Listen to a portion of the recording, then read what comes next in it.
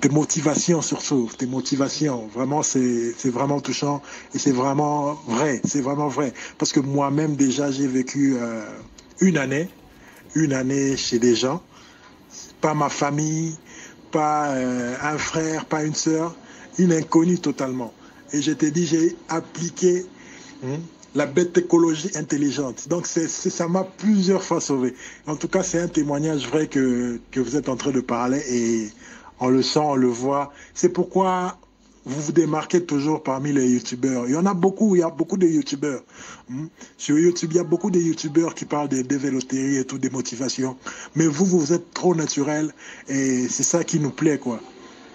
Vous dites des histoires vraies, des histoires que vous-même vous avez vécues et vraiment c'est vraiment touchant. Ça va droit au cœur. Donc euh, c'est juste pour vous remercier et surtout pour le mariage aussi. Le mariage.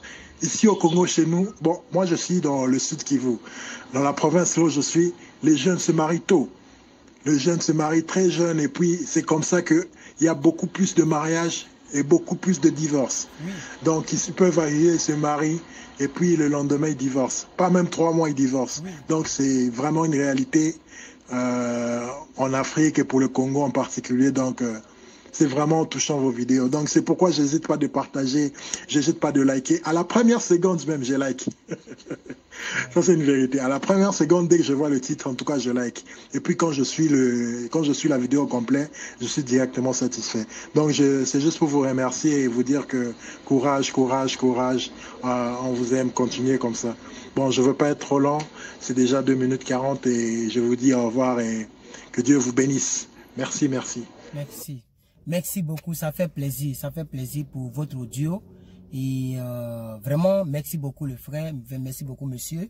Et voilà, que Dieu vous bénisse et que sa grâce soit avec chacun et chacune d'entre vous.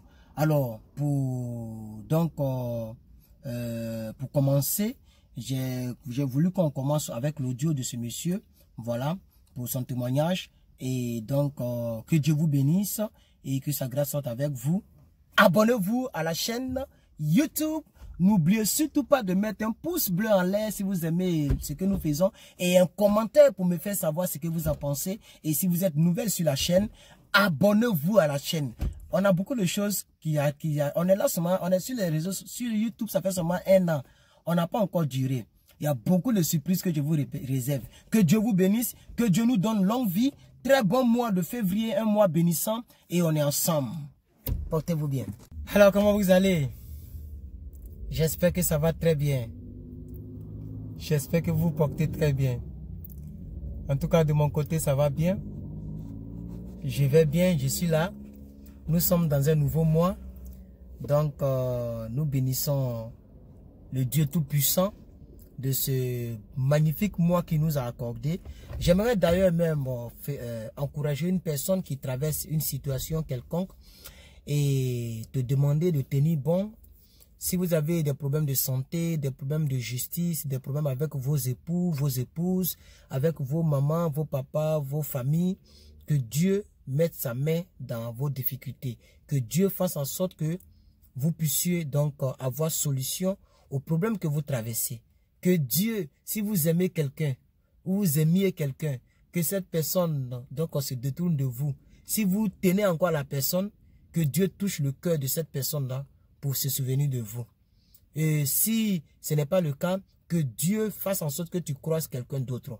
Et que Dieu touche le cœur de tes enfants. Que Dieu te bénisse. Que Dieu bénisse tes investissements. Que Dieu bénisse tes projets. Que Dieu bénisse ta famille. Au nom de Christ Jésus. Amen. Donc, on va commencer maintenant la vidéo. Alors, chers frères et sœurs, je suis là pour donc euh, saluer toutes les personnes qui m'ont salué comme le plus 225 59 32 42 30 quelque chose. Je salue cette personne-là, elle va se reconnaître. Elle a mis la, elle a mis cette photo. Voilà, je salue la personne, que Dieu te bénisse. Merci pour ta salutation. Merci aussi euh, à toutes les autres personnes qui m'ont salué, comme le plus 233 27 331 38 quelque chose. Je vous salue aussi. Sachez que je ne réponds pas malheureusement et donc, euh, bonjour aussi à Monsieur Fanny Adou, qui a 41 ans et qui m'a demandé s'il peut s'inscrire à la DV Bon, vous avez dit bonsoir Monsieur Herman, je suis Fanny Adou, j'ai 41 ans. Est-ce que je peux m'inscrire à la DV D'abord, je vous salue, grand, grand homme africain. Que Dieu vous bénisse. Et je vais vous dire, oui, si c'est par rapport à l'âge que vous demandez, effectivement, vous pouvez bel et bien vous inscrire donc pour la demande du visa américain et de la green card américaine. Donc, il n'y a pas de souci.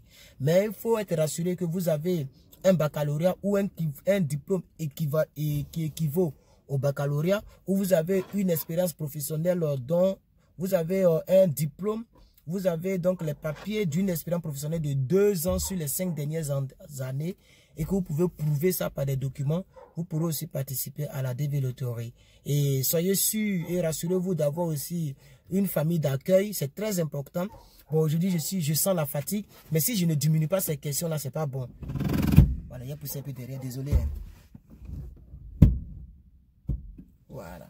Donc, si je ne diminue pas ces questions-là, ce n'est pas du tout bon. Ah, mais le truc là, je ne maîtrise pas bien. Ah, on doit soulever ça. On doit soulever. Ok. Donc, euh, c'est un peu ça, ok? C'est pourquoi je fais la vidéo. Donc, salutations à vous tous. Alors, quelqu'un dit, bonsoir frère Herman. Moi, c'est Honorine depuis le plus 228. Je voudrais vous remercier pour tout ce que vous faites pour nous, bien que vous êtes toujours occupé. Vous avez le temps pour nous que Dieu vous bénisse au centuple, qu'il vous protège, qu'il vous élève davantage. Merci beaucoup ma soeur Honorine depuis le Togo. Merci beaucoup. Vraiment, vraiment, vraiment, vraiment. Voici ce qu'elle a mis comme image. Mais merci beaucoup. Que Dieu vous bénisse ma soeur. Et merci de, votre message qui est très, très, très, très, très encourageant. On va donc aller donc euh, dans la phase des audios. Comme très souvent quand je fais les vidéos dans ma voiture, ok, euh, je n'attends pas bien quand je rapproche le téléphone. Donc maintenant, j'ai envoyé mon petit baf. Il va nous servir donc de, de baf. Je suis en train de suivre ton truc sur, YouTube là. Je sais pas.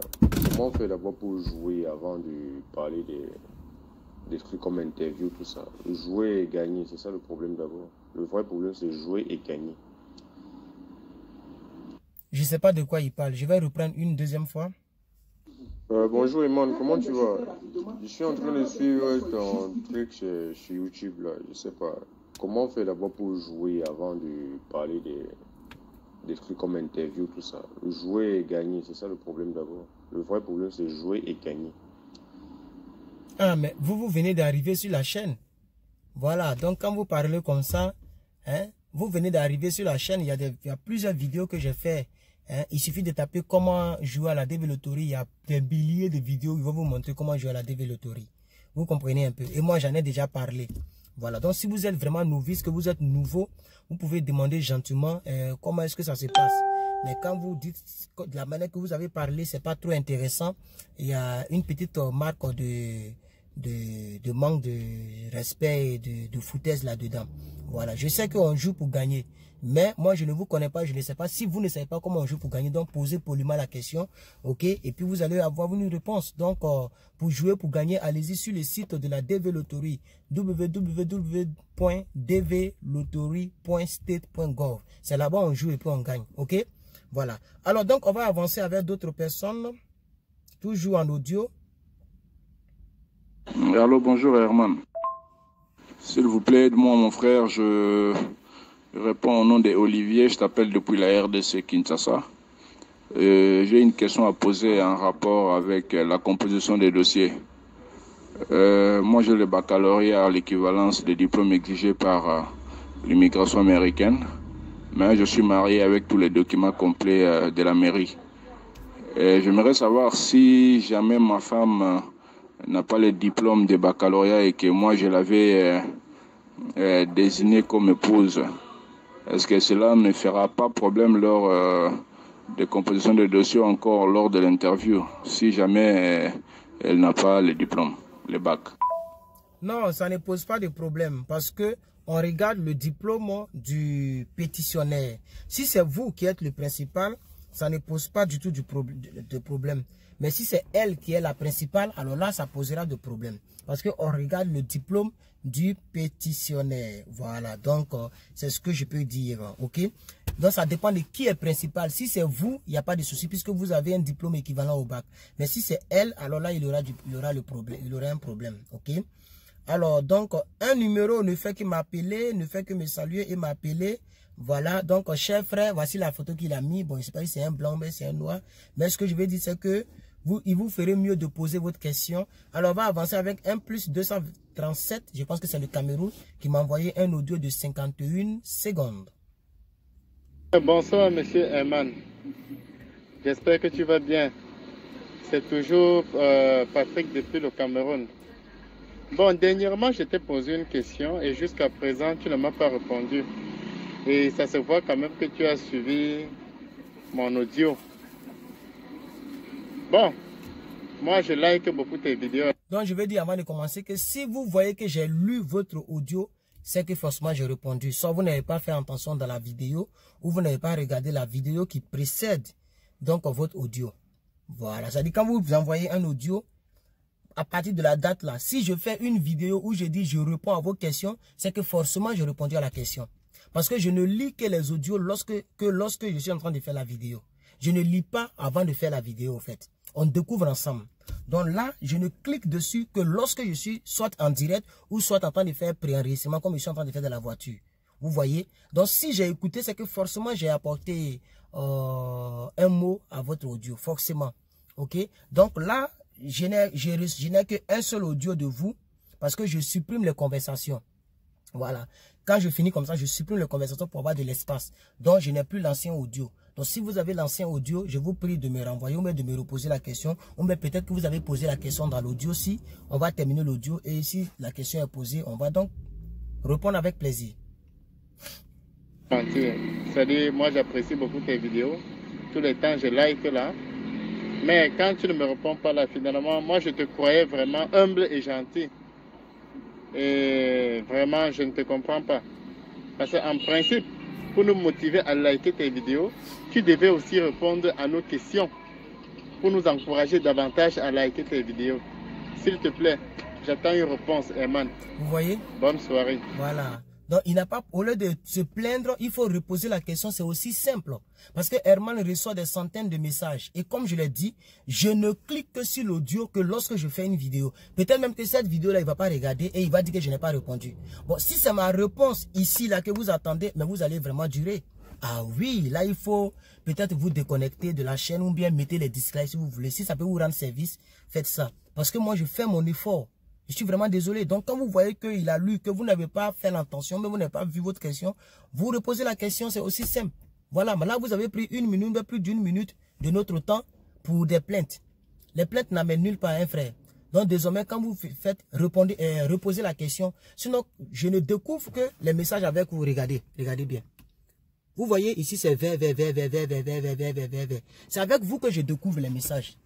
Vous voyez, donc quand vous voyez que j'ai cliqué, c'est que c'est pendant que j'étais en train de faire la vidéo que j'ai cliqué sur l'audio. Ok? Donc euh, voilà, quand vous dites je te crois homme, en tout cas, un homme ne peut pas dire lui-même qu'il est homme. Voilà, mais ce que ici, c'est la vie, on avance. Tout le monde ne peut pas aimer tout le monde à la fois. Est-ce que vous me voyez bien même? Oui, il y a le soleil, hein Bon, moi, je suis dans la clim, mais le soleil l'a fait que, je ne sais pas si vous me voyez bien, mais bon, on va faire comme ça, ok? On va faire avec. Sinon, là, il y a la clim, j'ai mis ça en deux. Parce que si je mets ça en fond là, j'aurai un peu trop froid là. On va avec un plus 225, ça c'est la Côte d'Ivoire. Bonsoir, bonsoir Herman. Comment allez-vous? J'espère bien. Herman, s'il vous plaît, moi je me nomme Kone Aboubak.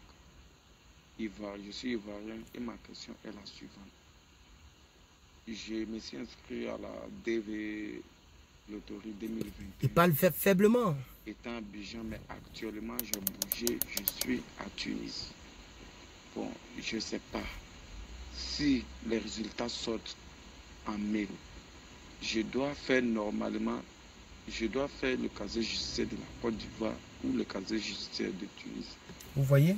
Vu que je suis suis pas actuellement en Côte d'Ivoire et les résultats vont sortir pour me laisser ici. Voilà, donc quand vous découvrez une chaîne, prenez la peine de regarder au moins deux ou trois ou quatre vidéos de la personne. Sinon ça là, chaque fois je réponds à la question. Chaque fois, même hier, même le petit direct que j'ai fait là, j'ai répondu à la question au moins trois fois comme ça. Chaque fois je réponds à la question.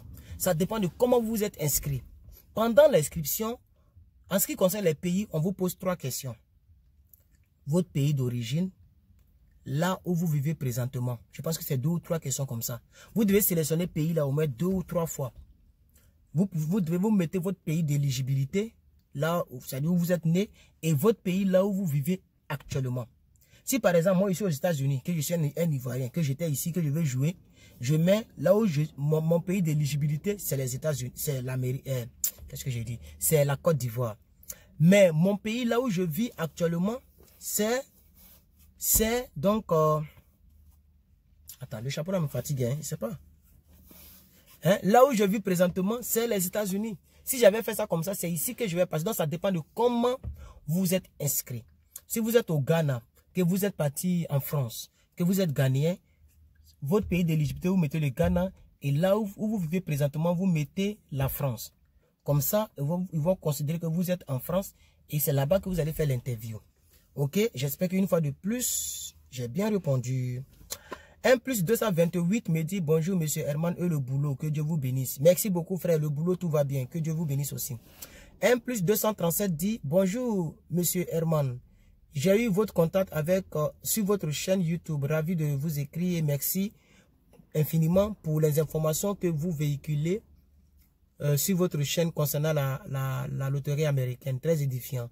J'ai joué cette année et comme tous les autres, comme tous les autres postulants, J'espère être sélectionné. Je veux savoir, s'il vous plaît, j'ai un souci avec mon passeport. Au moment de l'inscription, il est valide, mais la date a expiré.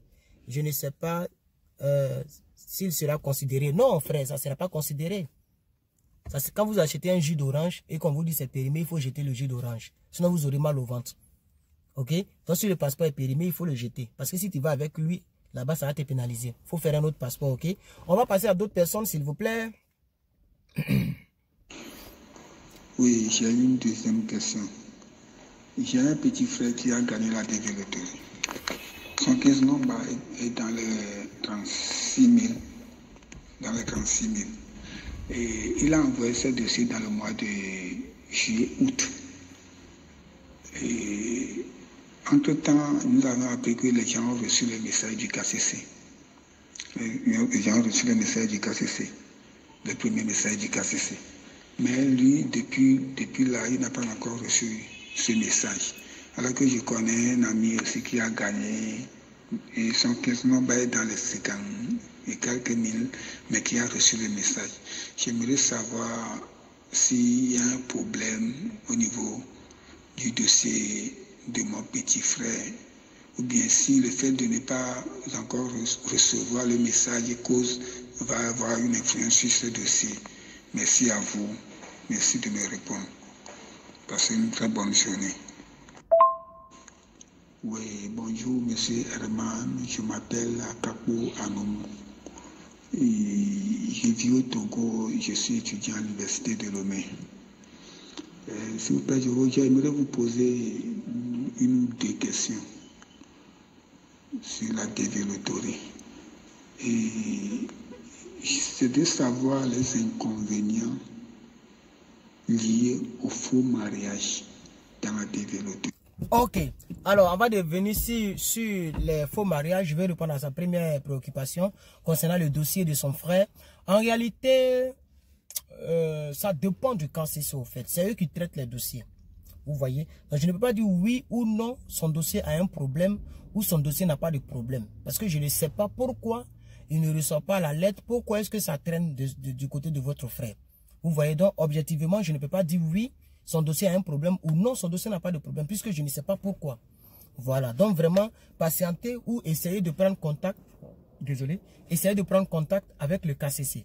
Voilà. Alors, la deuxième question, je vais laisser votre audio finir et répondre à cela et passer à d'autres personnes où on n'a pas encore fait 30 minutes. Je vais faire au moins 30 minutes et vous laisser.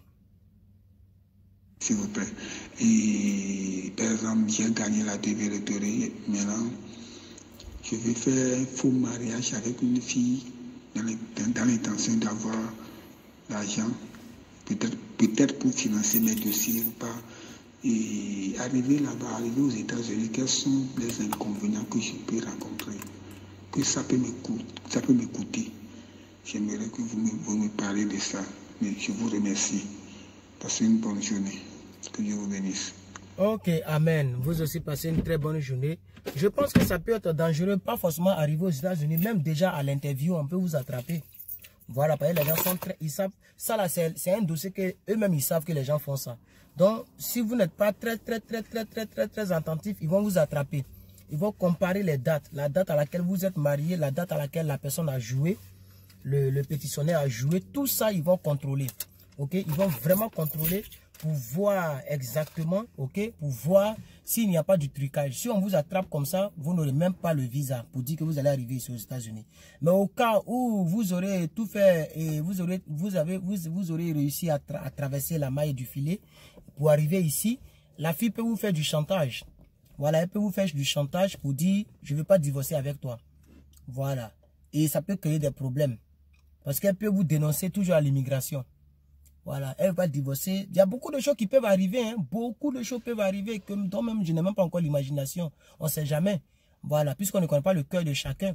Voilà, elle peut vous faire du chantage, donne-moi de l'argent, sinon il te dénonce et puis nous, on nous rapatrie. ben, je vais me coller sur ton dos. Aide-moi à faire telle chose, il faut faire telle chose. Vice versa. Donc vous voyez un peu. C'est pourquoi moi, personnellement, je ne conseille pas euh, ce, ce, genre de, de procédure? Je ne conseille pas du tout les faux mariages au fait parce qu'il peut y avoir beaucoup de risques. Et ici, dans les pays développés, la femme est toujours prioritaire. Voilà. Alors, 1 plus 228 m'a envoyé encore un audio. On va le découvrir ensemble. Salut, salut, monsieur Arman, le Maasai, le Maasai People. C'est le fait depuis le Togo, j'ai une question à vous poser. C'est concernant la vidéo que vous avez fait dernièrement. Je réponds à vos questions. Et dans la vidéo, il y a marqué le quartier, dans le quartier, le quartier dans lequel vous faites la vidéo, c'était sombre. Très sombre même. Mais je ne sais pas pourquoi, on dit un, pays très développé, pourquoi dans le quartier, ils ont, il n'y a, pas de la lumière? Hmm, pourquoi il n'y a pas de la lumière? Même j'ai remarqué, même au Togo ici, même dans la nuit, il y a, y a au moins, il y a au moins, devant les maisons, il y a la lumière. Hmm. Mais je ne sais pas, la vidéo ce que vous avez fait, la vidéo, c'est comme vous avez commencé ça dans la journée jusqu'à la nuit, quoi. C'est, hmm, c'était dans la voiture. Hmm, c'était sombre. Le quartier était très sombre. Il n'y a pas de lumière. Oh. C'est pas risquant, bien, je sais pas. Comme c'est un pays développé, des choses de braquer, des voleurs, ça n'existe pas. Normalement, il devait, il devait, il devait avoir de la lumière. C'est ce que je vois. Mais je ne sais pas, est-ce que vous, vous, comprenez cela? Pourquoi il n'y a pas la lumière dans les quartiers? C'est très très sombre comme ça, c'est pas bon. Euh, ok. Ciao, ciao. Donc c'est ça votre préoccupation? En réalité, ma voiture, les vitres sont teintées. Et ce jour-là, j'étais, il était entre 18, h et 19h. Donc il faisait nuit. Donc j'ai commencé à 18h et 19h m'a trouvé là. Voilà. Et ici, il y a, des arbres. Donc ça cache. Les... Sinon, il y a la lumière. Mais il y a des arbres, il y a assez d'arbres. Vous voyez derrière moi, tout est arbre. Il y a des arbres, il y a des arbres. Toutes les maisons sont dans les arbres. Voilà, je ne sais pas comment je vais vous montrer. On dirait vous voyez un peu au travers les vitres là, non? Voilà, tout est arbre, arbre. Parce qu'ils aiment beaucoup les arbres. Les cocotiers, les arbres, les gros gros arbres. Donc ça cache un peu la lumière. Et ma vitre, ma voiture aussi est teintée. Voilà. Vous voyez, ma, ma est teintée. Donc tout ça, ça peut jouer. Mais l'essentiel, c'est que le quartier est safe. Voilà, il n'y a, pas de, a pas de bruit de braquage vers ici. C'est Los Angeles au fond là-bas qui n'est pas bon. Voilà, donc on ne regarde pas tous les, détails comme ça. Comme vous, vous le dites, c'est un quartier développé, donc euh, ne vous inquiétez pas. Voilà, je pensais que vous aviez une question. On va avancer s'il vous plaît. Alors, plus 225, il dit... Euh, Salut frère, j'espère que vous allez bien. Je vous ai envoyé un lien d'info dans lequel il est mentionné une information effrayante concernant la dévéloterie euh, pardonnez, prenez connaissance, expliquez-nous, merci. Bon, le lien même ne, ne me dit rien. Hein, lacroix.com. Voilà, tout le monde peut, peut dire des choses Moi, c'est sur le site euh, officiel que je regarde beaucoup. Voilà, mais le lien même, et j'ai pas trop le temps de dire que je vais lire tout ça. Je suis désolé, mais je vous ai dit que je vais, je vais donc euh, bien me renseigner et vous faire part. Voilà, mais pour l'instant, je vais répondre à vos questions et les informations. Après, je ferai une vidéo là-dessus. Pour ne pas que la vidéo soit très longue, au fait. Voilà, alors quelqu'un dit, salut Herman, je suis Orvin Lionel de nationalité gabonaise. Ça fait quelques, ça fait déjà quelques jours que je regarde tes vidéos sur, sur quoi? SnapTube. C'est quoi que SnapTube? Je connais pas SnapTube. C'est un autre logiciel où on peut trouver les vidéos. Ah, c'est que c'est bon. Donc, il dit sur SnapTube. Ça me fait... Il voulait dire YouTube, mais non, mais il a bien écrit, il a mis SnapTube. Peut-être c'est un, un, logiciel que je ne connais pas. Ça me fait du bien. Merci pour tes vidéos. J'ai un frère en Christ qui a joué pour moi la DV 2019. C'est ma troisième fois de participer à ce jeu. J'ose croire que cette année, ça va réussir. J'ai une question, c'est la suivante. Pourquoi parle-t-on de DV 2021 oh, Nous sommes en 2019. Voilà. Donc, c'est ça. Il pose la question, pourquoi on parle de 2021 oh, Nous sommes en 2019. Ça aussi, j'en ai parlé plusieurs fois. Vous allez voir que depuis aussi dans cette voiture-là, la plupart des questions qui reviennent, à part quelques questions qui sont sorties du lot, c'est des questions répétitives. Voilà. On parle de 2021 parce que les personnes qui ont joué, la plupart vont voyager en 2021. Je n'ai pas dit eux tous. D'autres même peuvent voyager cette année en 2020. Mais la plupart vont voyager en 2021. Vous comprenez un peu? Voilà. La plupart commencent à voyager en 2021. Ou si vous voulez, à partir de 2021, c'est bouclé. Et on passe maintenant aux gens de 2000, ceux de 2020, on va parler de 2022. Ceux de 2021, on va parler de 2023. Ceux de 2022, on va parler de 2024, ainsi de suite. Donc, mettez deux ans dessus. Quand vous jouez dans une année, mettez deux ans sur l'année là pour, savoir de quel DV on parle. Voilà. Vous avez joué en 2019, 2020, 2021. Donc, moi, ma DV, c'est DV 2021. Moi, j'ai joué en 2016. Mais ma DV était la DV 2018.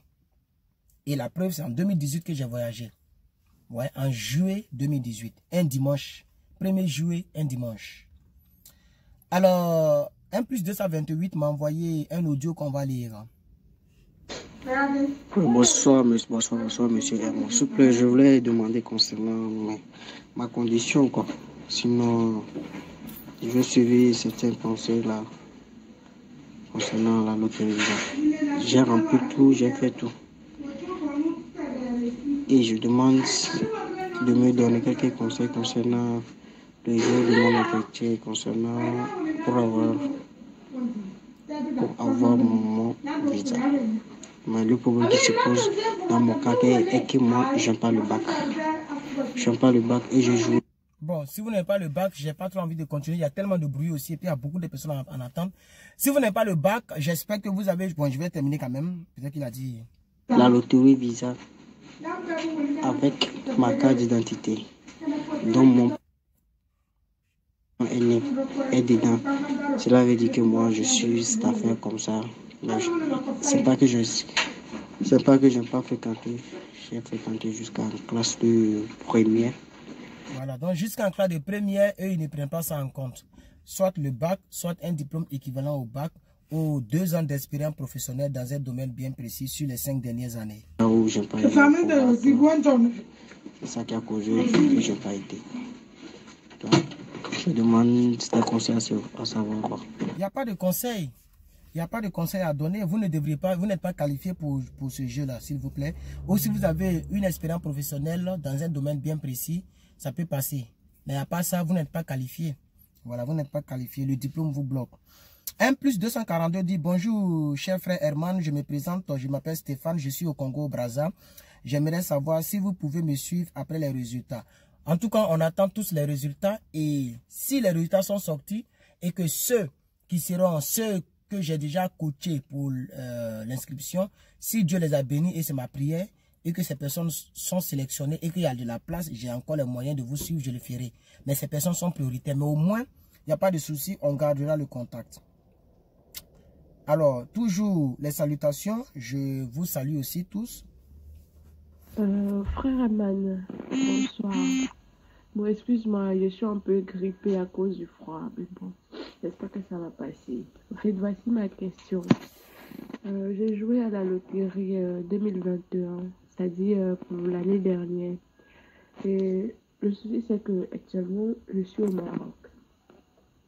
Je suis au Maroc et donc, euh, je me demandais si la dévélétorie sort, que je suis sélectionnée, euh, que je veux passer mon test, c'est-à-dire euh, je vais choisir l'ambassade d'ici, vu que je suis ici actuellement, que je choisis l'ambassade des États-Unis ici au Maroc pour faire mon entretien. Est-ce que c'est possible ou bien je dois retourner à Abidjan pour mon entretien? Que, voilà. Euh, Vous voyez que c'est la même question qui, revient. J'ai déjà répondu à la question. On va passer à son deuxième audio. Euh, euh, c'est après la sélection que tu choisis l'ambassade où tu veux faire le test, que tu veux faire l'entretien plutôt. Mais vu que je suis ici actuellement, si je choisis l'ambassade des États-Unis ici au Maroc, est-ce que ça ne va pas compliquer les choses euh, pour moi, vu que bon, je sais qu'il y a une enquête qui est menée et tout, est-ce que ça ne va pas compliquer les choses et la plupart du temps, c'est pas vraiment facile euh, pour les trucs de ce genre. Donc du coup, je me demande si je suis sélectionnée, que je vais faire mon entretien ici. Que... Malgré que j'ai mis le baf, je n'entends même pas ce qu'elle dit. Peut-être que vous entendez. Elle parle très faiblement. Elle parle très, très, très, très, très, très faiblement. Voilà, donc, euh, je ne comprends pas bien, mais c'est la même question qu'elle a essayé de reposer, quoi. Au fait, euh, donc, euh, j'ai déjà répondu à cette question plusieurs fois. Ça dépend de comment vous êtes inscrit. Voilà. Si votre graphe vous a dit qu'on peut choisir, bon, il vous montrera comment fait. Moi, je ne... Il y a d'autres qui disent qu'on peut choisir dans, le DS 260. S'il y, a cette, y a cette possibilité, en tout cas, gloire à Dieu, je suis très content pour ça. Voilà. S'il y a cette possibilité où on peut choisir, on peut choisir dans le DS, mais je suis très content. Je suis très content. Voilà. En tout cas, vous pourrez donc choisir vos ambassades. Sinon, moi, je pense que euh, donc euh, c'est pendant l'inscription qu'il faut déjà spécifier tout ceci. Bonjour Monsieur Emal, moi je, suis un de vos abonnés, je commence à vous suivre euh, un mois seulement. J'ai un petit souci. Il dit quoi?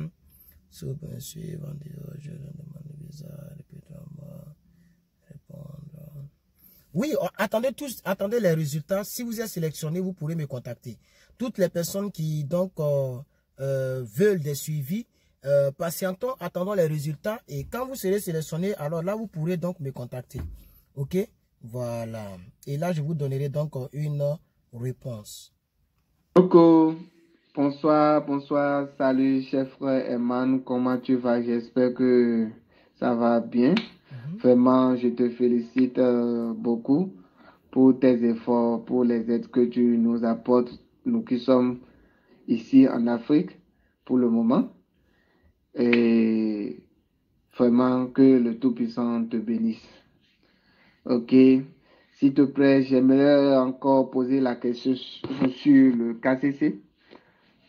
L'autre fois, je t'avais posé la question, mais tu m'as dit d'aller consulter, d'aller sur le site euh, de Visa Bulletin, ce que j'ai fait et j'ai vu que mon numéro number est loin de là où ils sont actuellement. Ils sont sur 25 000, je crois pour le mois de février qui débute aujourd'hui. Ils sont sur 25 000. Donc, maintenant, ce que je veux savoir, c'est que j'ai envoyé les documents passeport, casier judiciaire et autres là dans le mois de novembre. Dans le mois de novembre. Et dans leur accusé de réception, ils ont dit que nous aurons leur retour dans 3 à six semaines. Que si on ne reçoit pas de message de leur écrit, tu comprends mon frère, de leur écrit maintenant. Et j'aimerais savoir si on va toujours attendre ou bien je vais leur écrire ou bien est-ce qu'ils vont envoyer un autre message pour dire que et les documents sont approuvés, ou bien les documents sont en bon état, qu'il n'y a pas de souci, est-ce qu'il envoie ces genre de messages Ou bien c'est le message d'interview? Il n'envoie aucun autre message. Voilà. Quand il vous envoie l'accusé de réception, vous devez suivre leurs instructions qu'on vous a données dans l'accusé de réception. Et vous avez dit que votre numéro est encore loin. OK Ils sont dans 26 26 000 et vous, peut-être que vous êtes encore derrière, derrière là-bas. Voilà, donc vous patientez à ce qu'on arrive à votre niveau. On peut vous envoyer donc la lettre avant même qu'on ne soit encore à votre niveau. Donc vous patientez les frères. Voilà, il faut vraiment patienter. Et puis, euh, par rapport à ton numéro, tu attends quand tu vois qu'ils sont arrivés qu'il y a longtemps qu'on ne vous écrit pas, mais suivez les instructions, essayez de les écrire, c'est ce qu'ils ont dit. Ok Voilà. Bonjour Herman, comment vous allez? Je suppose que vous allez très bien. Les activités marche. Au fait, bon, j'aimerais vraiment avoir des informations sur le DS 260. Comment faut-il faire pour avoir le fichier? Est-ce qu'on le récupère? Le fichier, pour l'obtenir, c'est sur le même site. Quand vous allez sur le même site, il y a une partie où ils ont mis DS260. Où c'est facile. Vous tapez sur Google, rempli DS260. Il va vous donner un lien. C'est ça que vous cliquez. Je vais même chercher le lien pour mettre le lien à votre disposition. Quand vous cliquez là-bas, vous allez voir qu'on vous demande numéro de euh, euh, euh, case number et puis votre année de naissance, votre nom de famille. Et c'est avec ça vous rentrez. C'est pas un fichier en tant que tel. C'est sur le site que vous remplissez et vous faites submit et c'est fini. C'est tout. OK? On passe encore à d'autres personnes pour ne pas trop perdre assez de temps.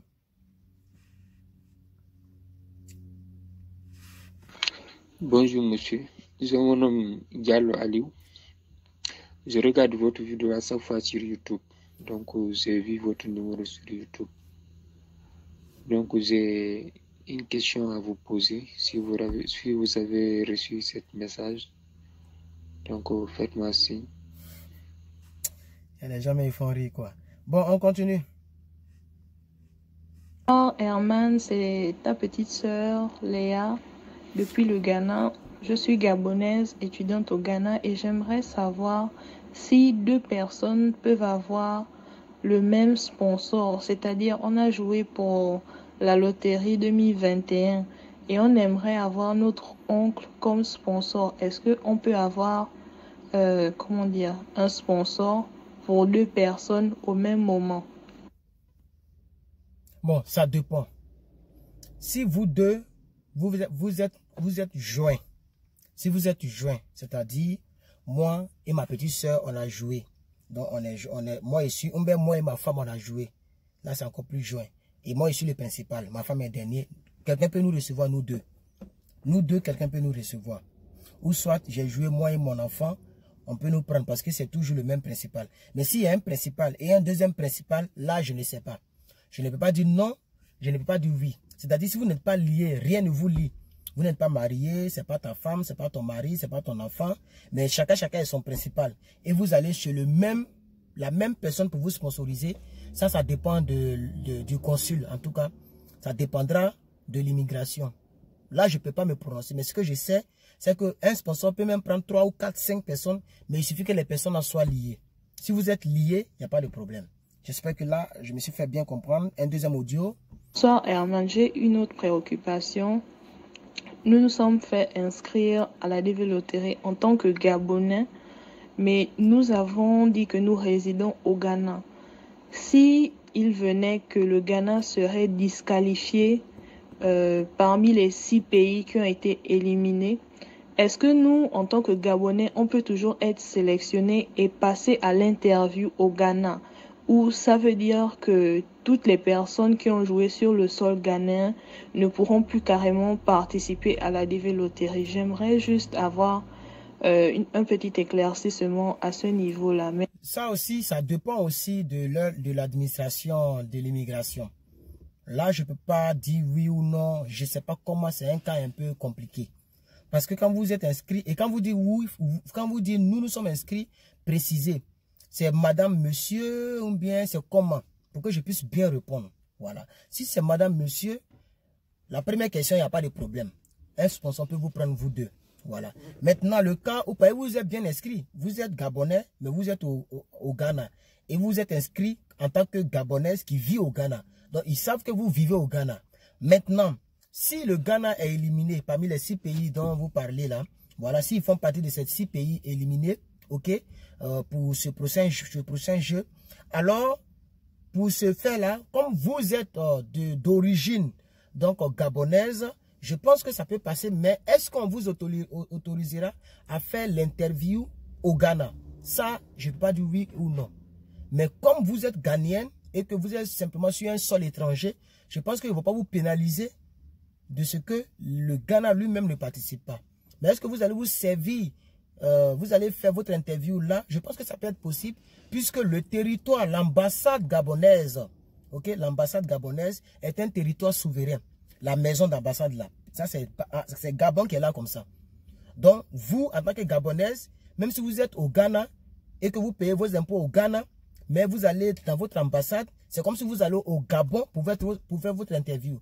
Donc, je peux même prendre le risque pour, pour le, risque pour vous dire oui, il n'y a pas de problème. Même si le Ghana est éliminé et que vous, vous n'êtes pas Ghanéen d'origine et que vous êtes là pour les études et que vous, vous, vous allez faire votre interview dans votre ambassade qui est un État souverain ghanéen, il n'y a pas de problème pour ça. Je pense que là, c'est la logique il n'y aura pas de problème. Maintenant, question diplomatique, ça dépend de pourquoi ces pays-là sont éliminés et comment est-ce qu'eux, ils veulent sanctionner les citoyens de ce pays-là. Là, je ne sais pas comment.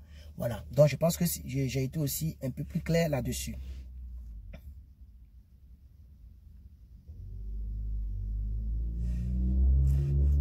Le Maasai People. Salut, salut, salut à tous. Salut, Herman, c'est Jonathan depuis la République démocratique du Congo. Euh, en fait, en tout cas, je n'ai pas de questions aujourd'hui parce que nous tous, on attend les résultats. Donc, il n'y a pas vraiment de, questions à se poser. Euh, mais vraiment, je suis touché. J'ai fait cet audio parce que je suis touché. Je suis sincèrement touché par les deux dernières vidéos. Euh, la première parlait sur comment vivre chez les gens. Et la deuxième, c'était si tu n'es pas à, propos du mariage, à propos du mariage. Parce que déjà la première vidéo, Vraiment, c'est. Je voulais te remercier encore euh, pour ce fort témoignage, pour ces, tes histoires que tu, que tu partages avec nous sans, sans, sans réticence, que tu partages calmement avec nous. Vraiment, je te remercie pour ça et pour ta